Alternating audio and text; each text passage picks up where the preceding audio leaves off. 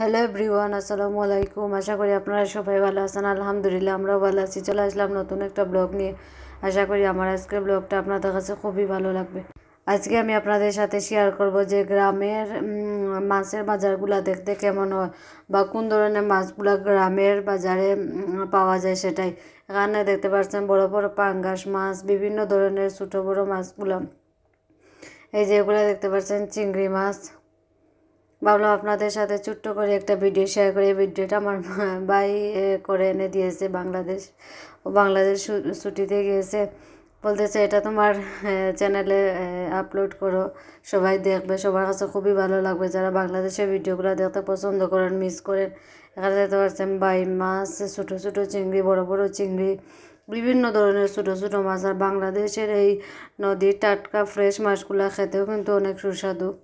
যারা ছোটো মাছ খুবই পছন্দ করেন তাদের জন্য। তো আজকের এই ছোট্ট ভিডিওটা আপনাদের কাছে কেমন লাগল অবশ্যই কমেন্ট করে জানাবেন।